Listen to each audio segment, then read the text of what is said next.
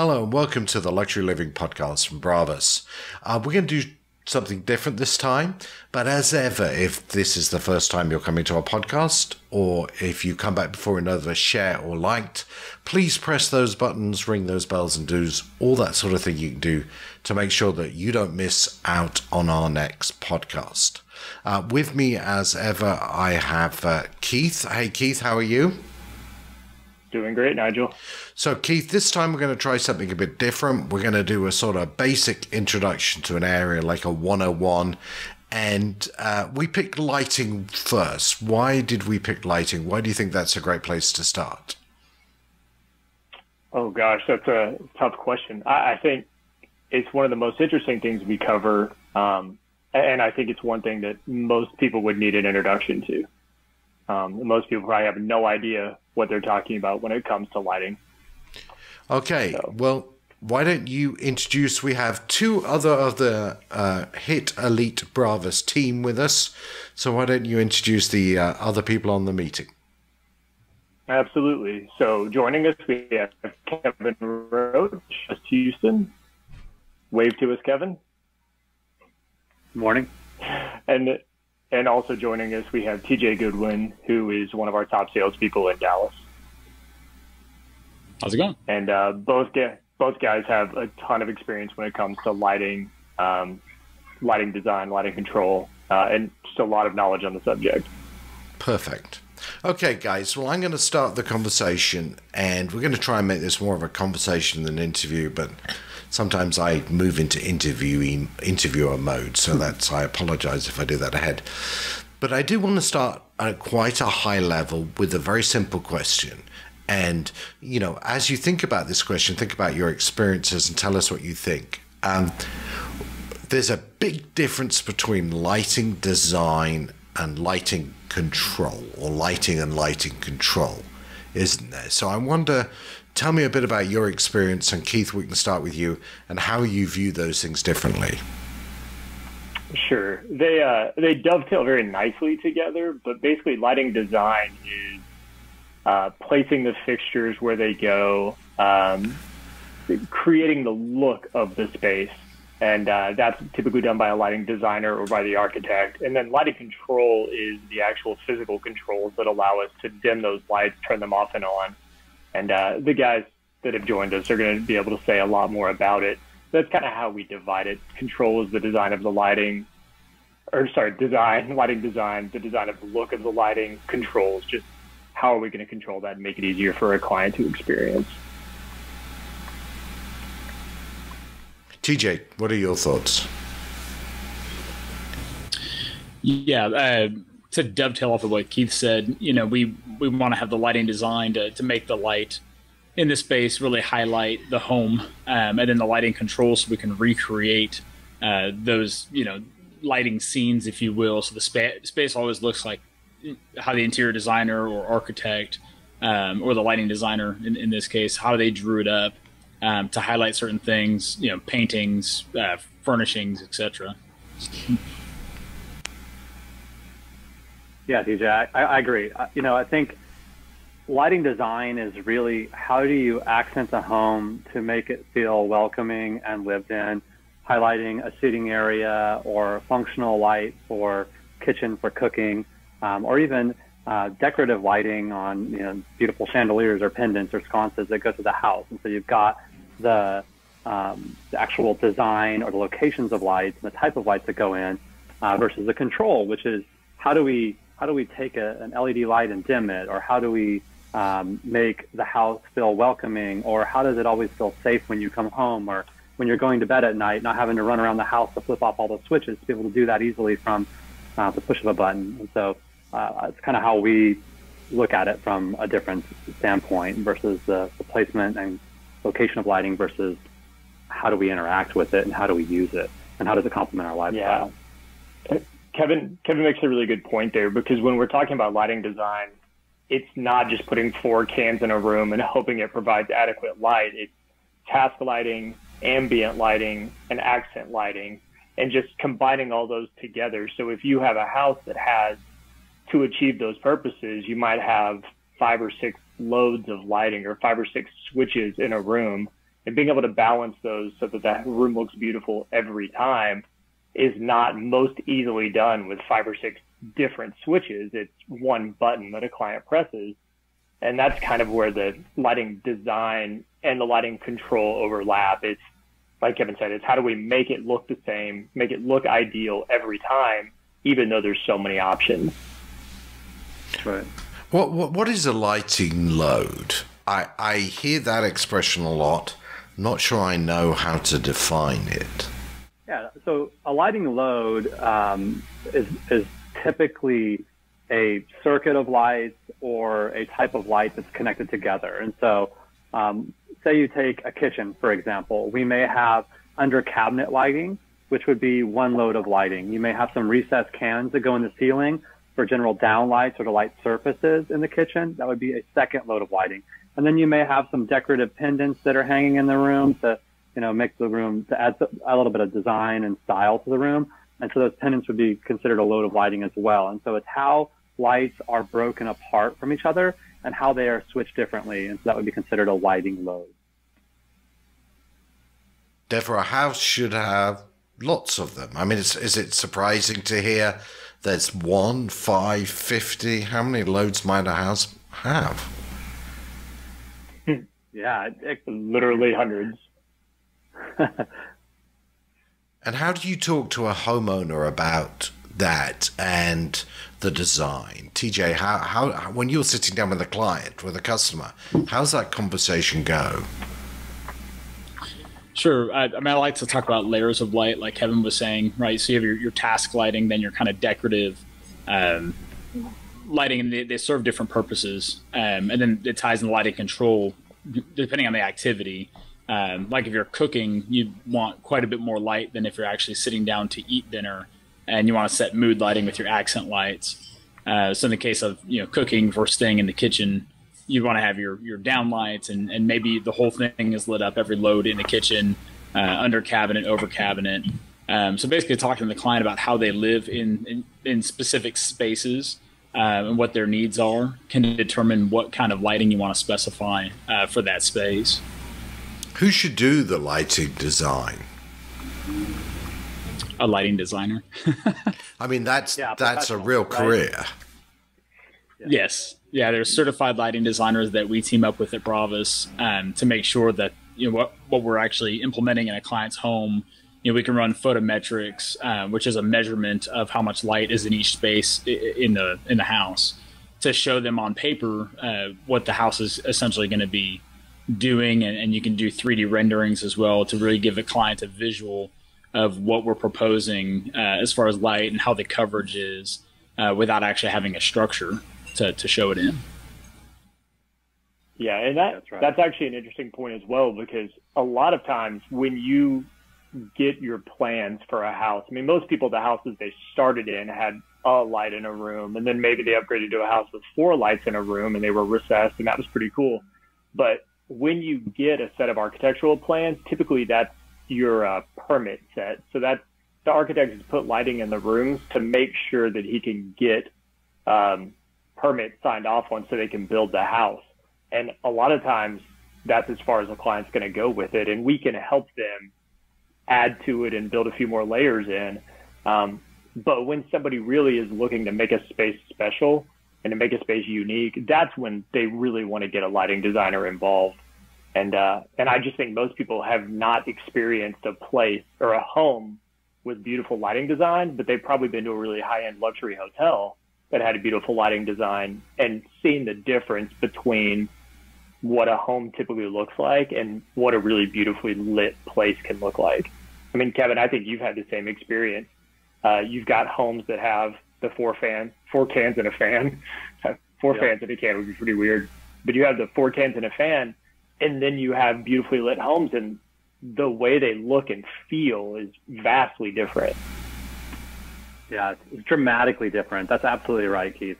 So um, when when we think about lighting and specifically design and placement of cans, oftentimes our reference point is the simple as you mentioned, four cans in a room, right? You're lighting the floor, you're lighting the space. And our eyes don't actually perceive that as a well lit space. We, we want to be able to see light on surfaces around us. And so if we can light walls or artwork on walls or furnishings in a room or a table, um, and we can look at those places, that makes it much more inviting for us to go in, much more comfortable for us to sit in a room, to read a book or to have a conversation or to watch TV or, um, or, or anything that we, we typically would do as we live in our homes. And so it's important to not just take a permit set. And I've seen homes of all levels have the most basic lighting um, placements and, and design of lights in a house.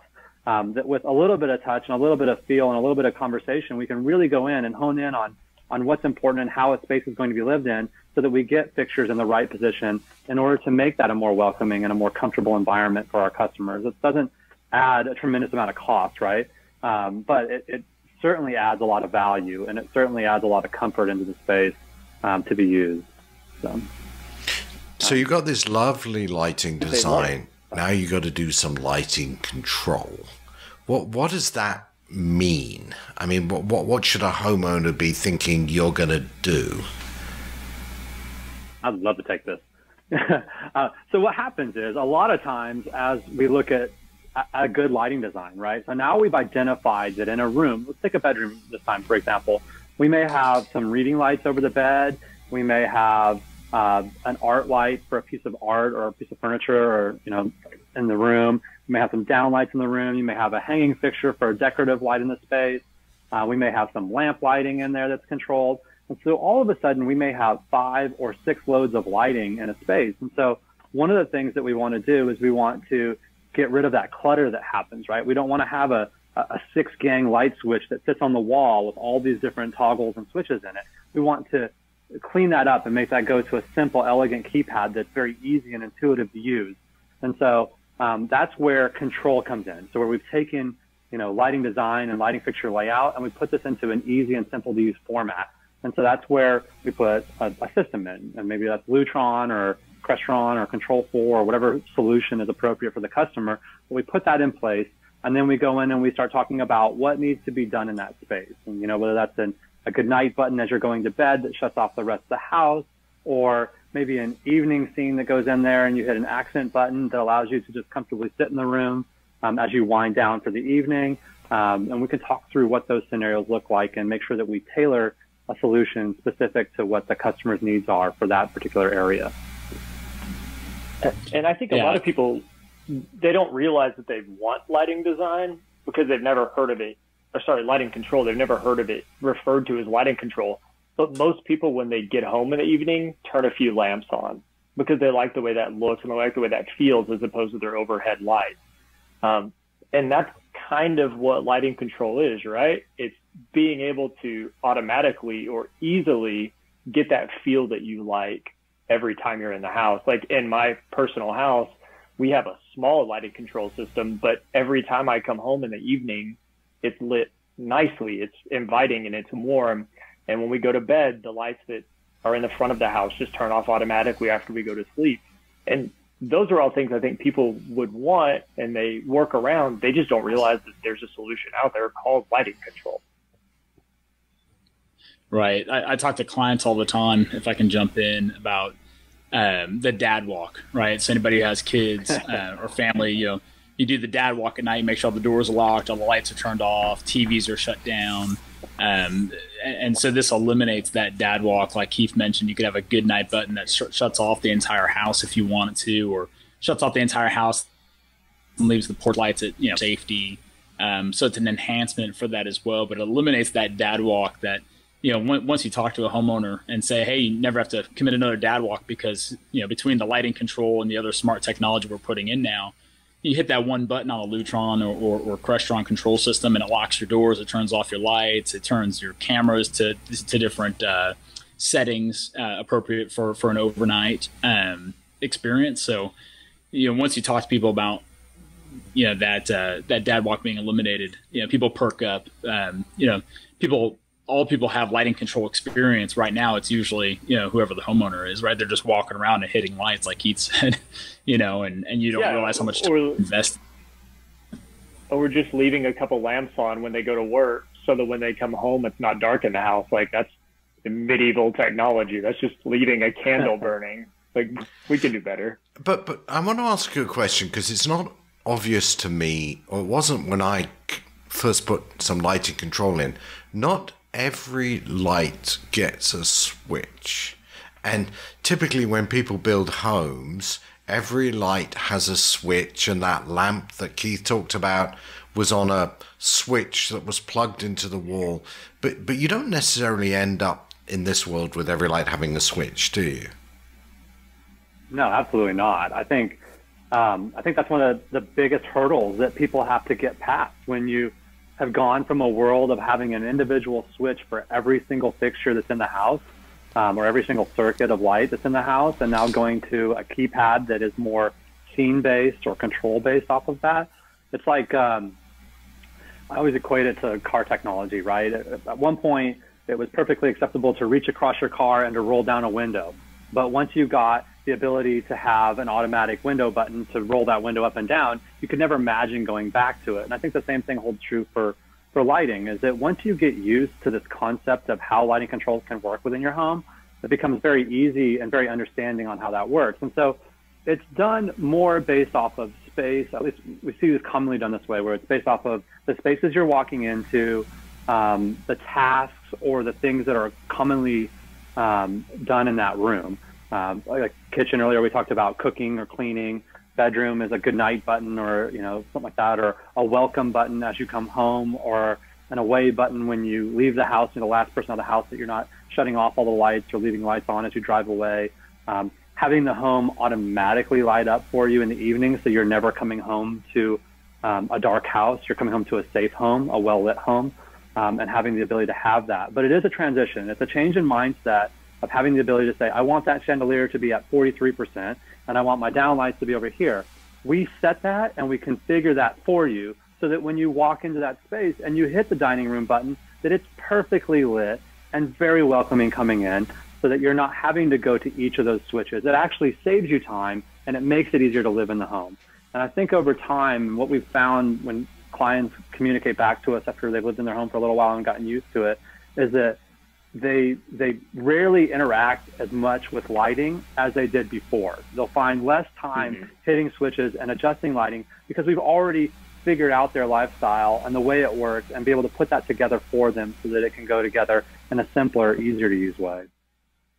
That I actually really like your car analogy and it made me think of in my car I have the auto air conditioner button. You know, and I, I don't care if the air is coming out of the vent in front of me or on the floor or if it's super hot air or whatever it is, I turn that auto to whatever temperature I want it to be, and then I trust that the car is going to make it that temperature for me. Lighting control is kind of doing the same thing for us, right? It's allowing us to uh, to know what we want the room to do, and just having a button that makes the room do that thing. It's not a bunch of individual switches that I have to go through and hit each time. Most people are going to use the same lighting in their room every time they cook right? They're going to use the same lighting in the room every evening in their master bedroom. It might just be the lamps on the bedside table dimmed way down. Most people don't really care if they have individual control of every one of those light sources. They just know what they want the room to look like at the end of the day.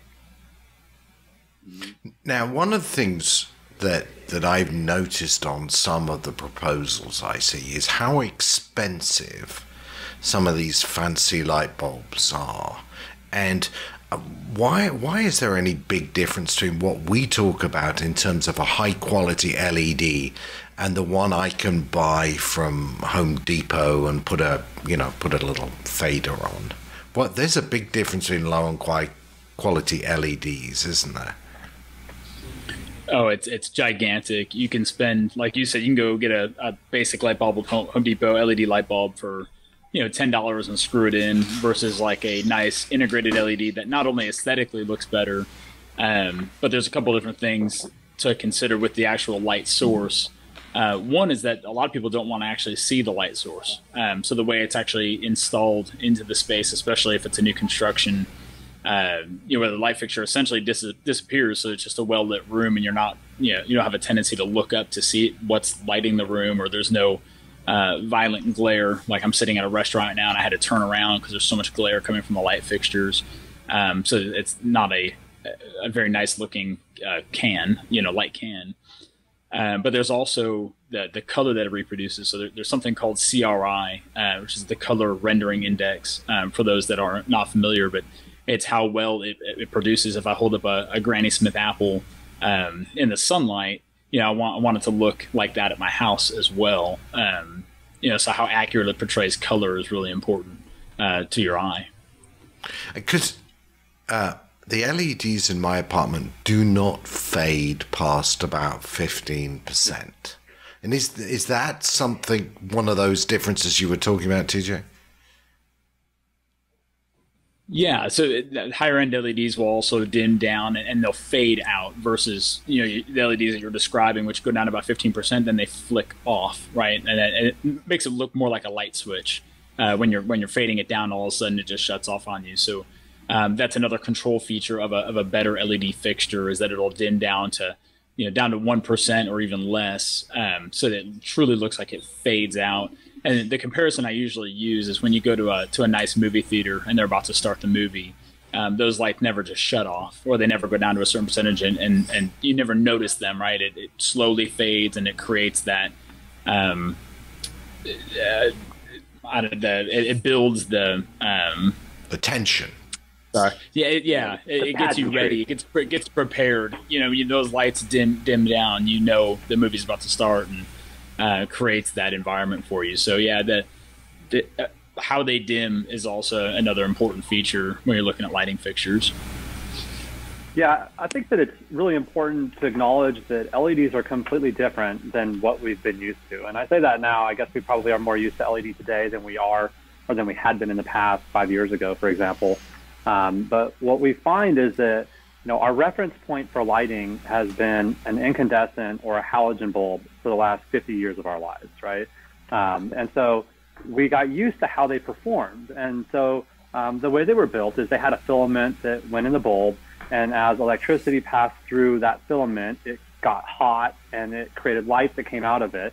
And so it was easier for us to control the intensity or the brightness of that light um, by having a dimmer on that. Uh, but that worked differently when it came to LED. Instead of, um, and, and really that starts with how we dim light. It's not like a, it's not like a water pipe, right? So we're not reducing the amount of water flow that goes through things. Um, when you dim a light, you're actually turning it on and off um, really fast or very slow um, to eliminate the amount of electricity that goes through it. And that then is less intensity in that filament, less light that comes out of it, and therefore a dimmer feel, right? When we go to LED, that's being driven by a microchip. There's a, a diode on that, and that's what illuminates the light that comes out of it. Well, when you pump electricity, when you stop it or start it, and it doesn't work the same for a computer chip as it did for a filament. And so it's a completely different philosophy on how that works. And so when we talk about performance, and as TJ had mentioned, when we talk about fading off light or being able to dim it down lower, um, it works in a different way. And so the better bulb have a more accurate uh, feel for how that dims when we start at 100% and it dims down to 1% or 5% or 0, wherever we can get to. That rating will determine how far it can dim, will have a lot of effect on cost. Um, and then the performance of what that light looks like as it goes down, um, whether we want that to go from you know, a very white or a blue light or a warm light into a more candlelight kind of feel too, that can be a different experience as well on how that looks. And so there's a lot of factors that go into that uh, on how that works, and some of them are just in retrofit bulbs that fit into existing fixtures because we have a lot of existing homes that do it that way. And then in new construction, we can actually have those where they're all integrated together, and we get far better performance out of fixtures that have those LEDs already built into it, where you're not actually putting a bulb inside of it, where it's all built together and made to function as a solution, as opposed to taking an old can, an old light in the ceiling, and putting a bulb into it to make it work. Um, but those are absolutely factors on how that works. And then you take a ceiling, and maybe you have four lights or six lights or eight lights in the ceiling, and we want them all to look the same. And so when you put a bulb in, there's something called binning, which is how accurate all the different lights are created. So when you buy a Philips bulb or whatever brand, a Soraa bulb, whatever you're putting in, we want them all to look the same over time. And as lighting changes or as time changes, but they all fade and keep the similar look to it. You don't want one light to have a more yellow feel to it than a a bluer light in another fixture over here because your ceiling will feel very odd and very weird, and the light in the space will feel strange that way as well. And so there's a lot of factors that go into it, and that's one of the best reasons why you want to work with Bravas or with a, a professional that can help you make sure that you address all these things that those aren't afterthoughts, but they're planned ahead of time so that all that goes together. I want to just define the binning thing because I come from a manufacturing background. So let's make sure I caught that correctly. So you're in Home Depot, you're in wherever it is. There are two light bulbs next to each other on the shelf. There's no way you know whether they were actually manufactured at the same time, in the same place, with the same parts I mean, there could be completely different specs in the same box. How does a more sophisticated lighting system, as you described it, solve a problem like that? Yeah, and that's really what it comes down to. As we look at how light is, how color is, is made out of a light, there's something called a, a McAdams ellipse. And so that's how this spectrum of light goes out and how we measure different colors. Like, for example, the sun uh, during the middle of the day is a more blue, whiter color early in the morning, and then it fades to a more yellow or more amber feel in the evening time. And so that's how color changes. So when they're creating these bulbs, right, oftentimes made in many different factories, as you just mentioned, um, the ability to have um, a, a rating system or a way that they can say that is something called binning. And so that's being able to hone in on this color spectrum and this manufacturing spectrum to get into a very small dot on this whole chart that says these are going to look exactly like what this is. And that's why you can feel confident that this fixture, whether it was made in that factory or this one over here, is going to abide by this standard or this quality of light that goes through it. And that's ultimately what binning is and how we're able to look at that. Now, when you look at the box uh, on the shelf in a Home Depot, um, you're probably not going to see that there. You're going to see that it says this is a 2700 Kelvin light, and it is going to be 60 watt equivalent to brightness that comes out of it. That's what you're going to get um, uh, because that's the the easy way to make a product that fits a price point that works well that way. Um, but when you work with um, a lighting designer, a technology company like Bravas, um, or even a lighting store, you're going to be able to find better products, oftentimes at not any more money, uh, but that really abide by those uh, standards and understand what you're looking at in order to get that. Um, and so you'll find that every product like that is built with a spec sheet, and so we'll have those available to be able to show you what it is and to ensure that we're giving you a proven solution uh, before it's ever built or put in. Okay, so who can do off the back of their heads the different lighting temperatures. So we, you know, at the top is like bright sunlight. How many Kelvin is that? Sunlight would be probably about five thousand Kelvin, just depending on where in the country you live. okay, so let's go down the list, and uh, I think we've lost Keith, but he'll dial back in. Uh, what's below sunlight? So see how good you are at the numbers. Okay. Um, yeah, so we, we start in a residence. You, usually 2700 is about as low as we specify as far as color temperature. It's a very orange light. Um, less popular amongst modern homes, more traditional.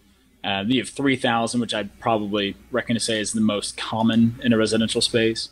Um, from there, you go to 3500, 4000, then 5000. And, and 4000 and 5000 typically we're specifying for commercial spaces. I, have only done one residence that had a, a color temperature that's that high. And that and it's a very white or, or, almost blue light at that point.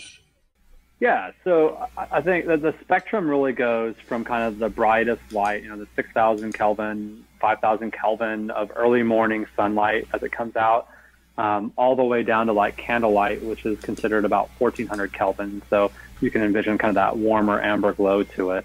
And as TJ had mentioned, um, most commonly in residential side of things, is you're somewhere in the, the 2700 Kelvin to maybe 3300 Kelvin range is what we see traditionally for inside homes. Um, more traditional, um, more standard feels we think are like the warmer colors, which is the smaller number. So like 2700 Kelvin would be uh, very traditional lighting, uh, something that we've seen often. Uh, more modern, more contemporary homes typically fall into like the 3000 Kelvin or possibly even like 3300 Kelvin range as far as light. Um, and that's more of a wider um, light, not as much amber or yellow or orange built into it. Um, it kind of goes that way off of it.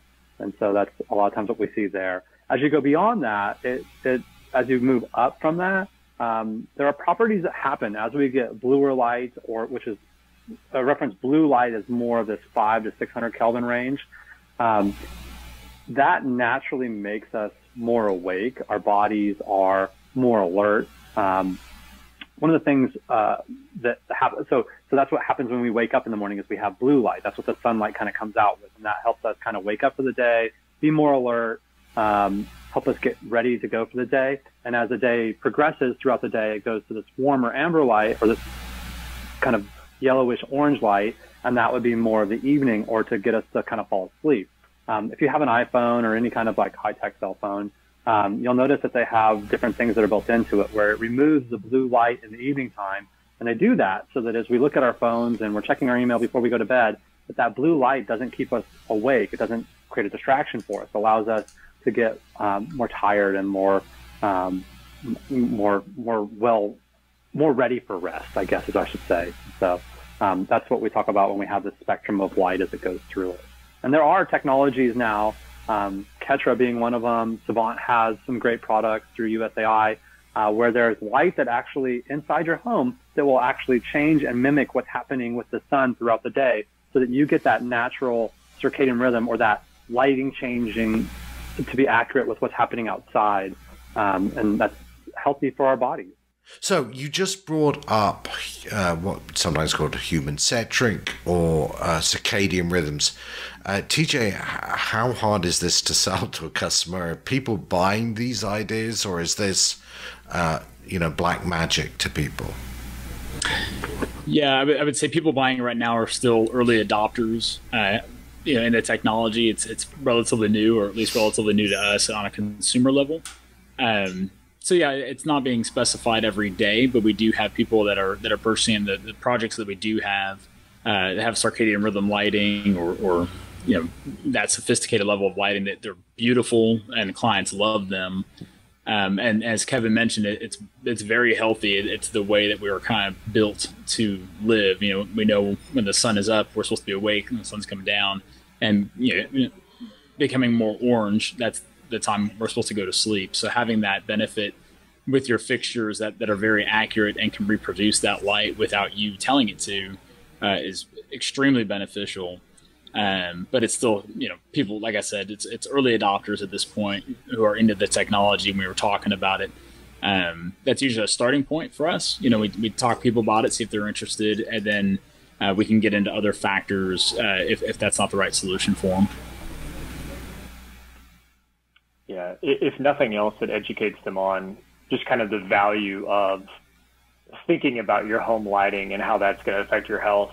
Um, you know, for most of our clients, if that's not something they can afford, they may still want to do something like a dim to warm fixture where in the evenings, as we're dimming the light down, it's also getting that nice warm amber glow. Um, and that's going to give them some of the basic benefits of that circadian rhythm lighting just on more of a a budget with a little bit less control. Um, but at least now we've started to have those conversations. They can understand the importance of it and make a decision for themselves. So, you know, I've got lighting. I can dim to warm. I can do circadian. I assume the circadian isn't a. Is it a programming thing, or is it something these sophisticated lighting systems doing at home? How how would you actually do that if you were if you're doing it for a client?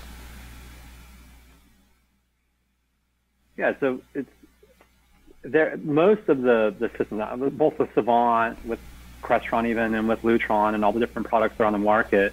Um, part of the evolution that's made this kind of come out now and be a more mainstream solution for people is the fact that they have now made that an easier, uh, repeatable system that goes in. Right. In the past, it was something where you had to have this brilliant programmer who could set all that stuff up for you, um, and now it's it's baked into um, these systems so that it comes out the right way. And so it's not a an overly complex issue anymore.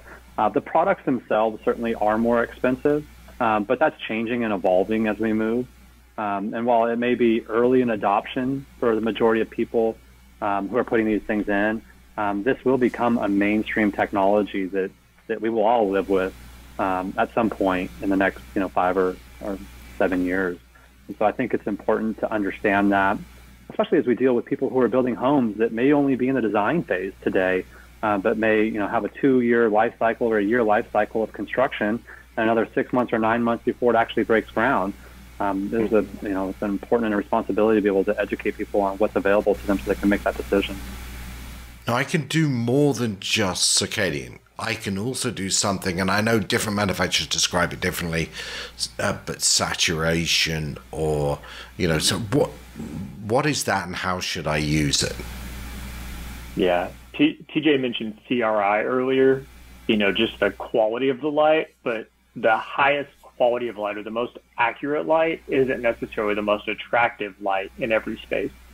So that ability to tune the lighting to look exactly how you want it to look is kind of what he's talking about. So you could have every light in your house be nice and warm and provide that comforting glow in the evening, but a light that's aiming at a piece of artwork, uh, you could have that adjusted so that it makes that art look exactly the way you want it to look, or even maybe the way it was painted. Like if it was painted outdoors, you could have it lit with traditional sunlight lighting, or if it was painted in somebody's studio by candlelight, you could have it lit so that it looked like that. Um, so it's just that adjustability to make the lighting do exactly what you want it to at any time. Um, and that can all be done on the programming side. Like Kevin said, the circadian rhythm, if that's what a client wants, it'll just do that automatically throughout the day, all the time. Um, but we can easily program the lighting to literally be whatever a client wants, even if it's something crazy like purple lighting in their kids' playroom or something like that. We can do that. Yeah. Yeah, and, and I think the thing about this adjustable lighting, right, is not the fact that you're always mimicking the sunlight, but that there are practical applications for this. You know, but just personally speaking, I have twins um, that are 10 years old that are in school, and you know, I work all day. I get home and uh, I have dinner with the family. I hang out with them for a little bit, and I put them to bed, and then I might have another hour, hour and a half of work that needs to get done. But I'm worn out by the end of the day. But I can go into my office. I can adjust the light to be a more blue, a more awake or aware light. Um, and that helps me be more productive as I sit down to knock out my last hour of work or, you know, answer those handful of emails or, you know, design work and stuff that needs to be done. And so, you know, it's a very practical application for what that is. And at the same time, if we wanted to do something fun for a birthday party or, you know, um, St. Patty's Day get together or something like that, you can make those lights change and mimic a color specific to uh, that event or to make it look fun that way. And so, um, there are obviously very kind of feature fun things that go to it, but also very practical things that work on and help you kind of um, live your lifestyle that way. So, purple bedrooms. I saw one demo house. I think it was the Savant uh, house in New York, where they had like chill party mode, and that that someone explained what that was that I was looking at. Anybody know? Don't ask me. I don't have parties. Well, in a non-COVID world, post-COVID uh, pandemic, um, you can sort of change the whole house with a scene that way using different colors, can't you? Right, and I can't speak to the the party mode necessarily, um, and I think Keith was referring to the fact that he has a newborn baby, so there's no parties going on at his house at the moment, um, and especially with COVID. But anyway, uh, you know, something that clients do that that have this type of lighting technology. Uh, as an example, it's pretty common is um, having blue light uh, overnight, so that if they have to like wake up to go to the kitchen or go to the restroom, the blue light actually doesn't penetrate your eyelid when you're sleeping, and so you can have your lights automatically turn blue if they're activated between certain hours of the day, say you know 11 p.m. and 6 a.m. or something like that so that if you do need to get up to go, you know, do something around the house, check on the kids, go to the kitchen to get a glass of water, go to the restroom, etc., you're not completely waking up, um, you know, people, other people in the space, um, such as a spouse or kids, uh, but you're also not waking yourself fully up. Uh, so when you get back to bed, you can actually fall back asleep versus a, a very bright light. Um, so I, I, think that hopefully answers your question about the party mode too. It'd be the same idea. You hit party mode and you can have it, you know, do strobing colors or purple yeah. or you know whatever tickles your fancy. I think I think they meant this to be chill out rather than party mode, which is you know you have friends round, you hit the button, the lights go down. There's you use different colors in different rooms, and it activates the music, and it it it was just fascinating because most scenes seem to be about you know the scenes we use most are good night, no way. So good night turns off you know, all the lights except the bedroom lights away, shuts everything down, and actually closes the shades and stuff, and, and sort of minimizes the power going into the home. But but I love the idea that at a press of a button, you can change the whole feeling in the home through color, through accents, through, you know, different approaches to how you mix the accent, the task, the ambient, and all the different lights you've designed in. Well, and one of the fun things about that is the only ways we control it don't have to be keypads or tablets. I mean, you can have it automatic. So if you have lighting control in a theater, when you hit play and you're on your DVD player, Blu-ray player, or something like that, and you're watching a movie, you could hit play and have the lights automatically dim and have them come back up slightly when you pause it. Um, or you could have a motion sensor in your bathroom so that when you walk into the bathroom or get out of bed in the middle of the night, the lights come on very, very dim so you can get to the get to the toilet and back without tripping over something. And there's just so many ways to integrate it into the house. You know, it's not just buttons on the wall anymore. Like there's just so many neat ways to integrate that into someone's lifestyle. Right. And yeah, and if I can give a real life example. Go for it, TJ. Okay. Sorry, Kevin. Um, a real life example I have a client lives in Dallas that has uh, triplets. And so, you know, they're they're older. They're not not newborn or anything like that anymore. They're in uh, middle school, but um, they have a programming uh, feature on their system, on their integration system, so that when they're up late watching a movie, her and her husband and the kids are already asleep, uh, they hit the movie night mode just on their handheld remote, you know, their TV remote, and that actually prompts uh, white noise in the hallway uh, that's outside of the girls' rooms, so they don't hear the movie. It doesn't wake them up, and it also dims the lights. It, it gets the scene completely set up for them to watch a movie. It sets the volume preset to what they wanted it to be, um, but then it closes the shades, which is another form of lighting control we haven't really touched on at all. Um, but it closes their automated shades. It dims their lights the way that they like to watch movies. Um, but it's very cool. It's at a press of a button. They don't have to have their phone on them. Um, so I think it's important, like what Keith mentioned. A lot of people, when they get home from work or you know, have had a stressful day, they don't want to be staring at their device anymore. Um, so I have a lot of clients ask me, "Do I have to have my phone on me to do this?" Um, and the answer is no. There's lots of different ways to do it, either via voice control um, or the handheld remotes, uh, keypads on the wall, where you can disconnect but still control your home and have have all the benefits of a smart home. That's right. And I think too, you know, it's it's not just, and I know we're talking specific about lighting on this podcast, but it's not just limited to to lighting, right? As you, um, Nigel, as you mentioned about like how you can kind of set the mode for a house or um, you know a feel for the home on how you want things to be done, and it's about tying in things like lighting and music together, or um, you know, even heating and cooling to to be a part of that. That all helps create that feel and um, and comfort of the home, and so um, that's simply an extension of it. And as TJ had mentioned, you know, making sure that when we talk about lighting control, we're not just talking about uh, you know the lights within the house. We're talking about managing the light that comes from outside the house, the privacy that comes from that, you know, the ability to um, have a, go to bed at night and have your shades uh, in your bedroom go down and be blackouts, so that you're not um, the exterior lights that are on for safety aren't bleeding into your room and creating more light in the space where um, where you want to sleep. And so it kind of touches all of those points on how that works. Okay, so you just talked a lot about indoors and using this great technology for indoors. Uh, does this also apply to outdoors, or is is outdoors completely different? No, it all really does apply to outdoors as well. Um, lighting design outdoors, good landscape lighting is going to make a space feel a lot more comfortable, even from inside the house. When you're looking outside the windows and you can see your yard, uh, that gives a sense of privacy and safety um, and then the same control techniques apply absolutely. We can still have the lights come on in the evening, go off. Um, we can even have things happen like if your security alarm were activated, have the lights flash in the front yard so that the police know how to get to your house. I mean, there's a lot of things that can be done um, outside the home. And honestly, most people, the first thing they want to control is their exterior lights because um, that's just something that they're frustrated with typically when they don't have a lighting control system. Okay. Uh, anyone else? Any good outdoor lighting experiences? I think it's an extension of the home. Um, nowadays, with architecture and design, it really is kind of this inside-outside flow, especially um, with how things are done, specifically here in Houston, right? Where we can be outside all the time. Uh, so it's, it's absolutely an extension of what we do inside the home needs to be replicated outside of the home.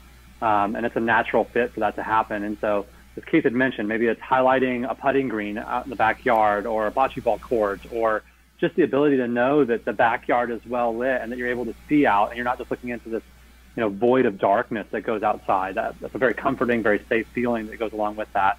Um, it's also very usable. You've now extended the amount of space that you can live in and the time of day you can use it into being able to have that lit for enjoyment in the evening time. So um, a very important piece of that as well, having your, your outdoor lighting be a part of the lighting system, the control of lighting, and the design of what you put together. So, um, a question that I guess both really for for you guys who are in sales, so more, um, well, in fact, all three of you are sort of in sales. Um, why can't my electrician do this? Well, you know, you guys are Bravas. You you look great. You're very smart. Uh, you charge a lot of money. Why can't my electrician, who's going to wire all my high voltage, do this? What's what's the answer about why why someone like Bravas or or Bravas in this story? Um, I mean, Bravas, we're, we're very focused on design. Um, electricians, most, I won't speak for every electrician. There's some great electricians out there, so I want to insult an entire, um, you know, uh, field. But you know, we're focused on design and making it very um, functional in the space, making it look good in the space where most electricians that I've had interactions with are just, hey, give me a blueprint how to install it. I'm going to install it, do it quickly, and then move on to my next project, make sure I get my permits, and, and I'm good to go. Uh, the majority of electricians don't take the time to learn how to properly design light. Uh, uh, like Keith mentioned earlier, four cans and a fan, they think, okay, it's a well lit space. I'm going to pass my permitting and I'm good to go. Um, but the thoughtfulness and the time that goes into design it's it's hours and hours and hours. It's not a quick uh, quick fix process or anything like that. I think there's also a vertical integration aspect to it, which is if we're going to be controlling the light, then we should also be providing the light that we're controlling just to make sure that the client's getting a seamless system that works exactly the way we said it was going to work. Yeah, and I think that you have to look too at the differences between an electrical contracting company and an integration firm or technology firm like ourselves is that you know they're coming from I've got to make sure that I've got power from an electrical pole to the house. They're dealing with load calculations as far as how much power do they need for the home. They're talking about electrical circuiting for outlets. They have a different mindset on how that works, and they're typically um, their involvement is during the the rough in phase and then at the trim phase, and then oftentimes they're gone. Versus a company like ours that's involved much earlier in the process, preferably, um, all the way through the completion of all the work. And then we are there to handhold and service our clients long after the fact. And so um, we're involved with them as technology changes, right? As internet upgrades happen and as, um, you know, parents come to live in the home as they get older or a new baby's born or um, what, whatever happens from a lifestyle perspective changes. We, we are there as a technology partner with them throughout the lifespan of that house and the, and the home. And so naturally, it fits better for us to be involved with that. And not to mention the more technical and programming skill, not necessarily just the, the, the rough in and the electrical contracting work that happens. There's a lot more, there's obviously that side of it, but then there's also the side of, of programming. And sometimes that takes more knowledge. And I know speaking for Bravas and on our behalf, certainly we do a lot more training, a lot more education. We've got more certifications um, where we've done this for so many people, and we've been doing this for, for a far longer amount of time uh, than electricians have been doing this. So that helps um, make, you know bring more ease and comfort for clients as they get settled into their house by having it done right. So, what other questions are people asking you about light? Are there things in the last sort of 50 minutes we haven't talked about that uh, when you think about your clients, your customers, the trade partners you work with, that they're asking about? No, I don't know if this is the right form or if we want to get into this, but we haven't talked about natural light and how that impacts the house at all and, and automated shade technology. I don't know if that's for another another podcast or if that you know we can address that at all. Well, I think I don't want to go down the whole shades because I think there's another hour of conversations to have about about shades. But I think the point is a good one, isn't it? That that uh, there's a whole bunch of light outside, and getting that mix right is another design decision. Absolutely. Yeah, it's huge, and then how those integrate together, you know, with the right system. Um, you know, the the lighting controls will be aware of, of the natural sunlight and, and where it's hitting in the house and adjust the lighting accordingly um, using what's called conditional logic. Um, so it, it, knows the you know where the sun's at, what season it is, uh, when the sunset is. Um, so it, it, manages your shades appropriately, and then the lighting, uh, uh you know, to, um, to be the, the yin and yang right for each space. Kevin, anything else people ask you about lighting we haven't covered? You know, the conversation always starts generally with dimming. You know, how do we make sure that we have the performance of what we're used to having in previous homes? And so I think it's important to acknowledge the fact that the majority of what we've talked about in this is not something that people are bringing to us. It's stuff that we have a responsibility to educate them on and allow them to know what's available to them. Um, but really, um, you know, talk about the performance of what's happening with it. Talk, let them know what's available, and you know, give them guidance on whether they're buying the fixtures from us or from anybody. They're buying a quality product that goes in, and it's going to be made for the next 10 or 15 years, 20 years of the home, um, so that they don't have maintenance issues and stuff that go along with it. And I think that all of those really kind of bring that experience full circle for them.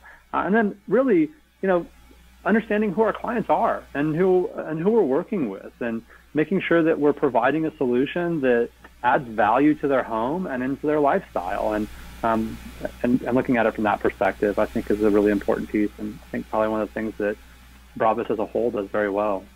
And Keith, you work with a lot of designers, like the other guys do, and architects. We can help with education and stuff like that for them too, can't we? Yeah, absolutely. We can provide education for them so that they can talk to their clients. Um, and then we can also be a resource. Um, it's not uncommon for a client to mention lighting control or motorized shades, um, or sorry, one of our specifiers to mention it to a client. And when the client kind of gives them a blank stare, they just say, well, let me bring uh, and they'll kind of explain it to you so you know what your options are. Um, and we love doing that because, as Kevin said, it is about being able to educate people on something they probably haven't experienced and they don't necessarily know why they need. Um, but once someone has lived with motorized shades and a well-designed lighting control system, they're not going back. So I thought we would end with everybody trying to describe their best lighting job, and I'll I'll give you a moment to think about it. But I tell you the first lighting job I did was uh, I saw was uh, actually a home in Dallas that we had done, and it was the lady's closet, you know, her dressing room that completely blew me away, and uh, James, one of our team members that took me around it, said.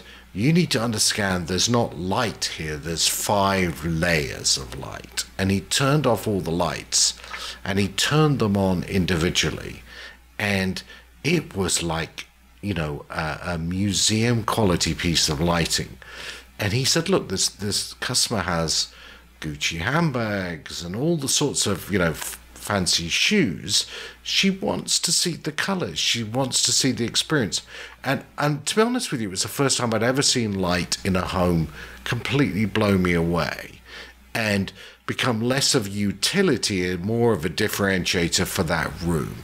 So that was mine first. Keith, do you have a an experience like that?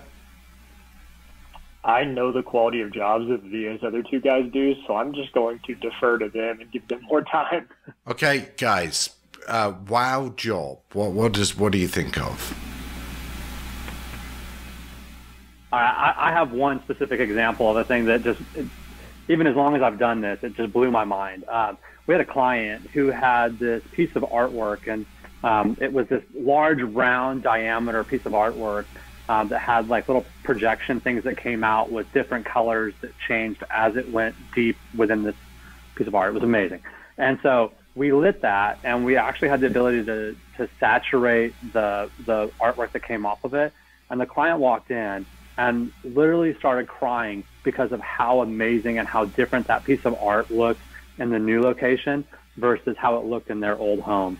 Um, and it, it just took lighting it correctly in order to make um, to make it feel that way, right? And it was um, and it changed something that I mean, this wasn't a priceless work of art. This was a a twenty thousand dollar, you know, ten thousand dollar piece. I, I have no idea. It was an expensive piece of artwork, but it made it so much better than what she'd ever experienced it looking at. Um, and I think that that's something that you can do, and with the right knowledge, taking the time to do it right, and really understanding what a client's looking for, and designing it from the beginning so that they get what they expected out of it. They're going to spend a lot of money on surfaces and floors and furnishings. We might as well make them look the best they possibly can look.